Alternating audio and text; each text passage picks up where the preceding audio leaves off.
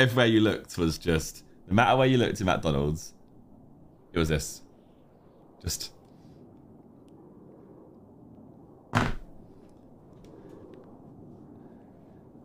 And someone, someone, someone came over and said like, "Oh yeah, can we get a photo?" I'm like, "Oh, like sorry, we're just like we gotta get back to a wedding. We just um we just like skived off to McDonald's real quick. Can, can like if we say yes to you, you'll say yes to everyone, and it would cause like a bit of a ruckus and a bit of a scene. So let's just like keep it low key.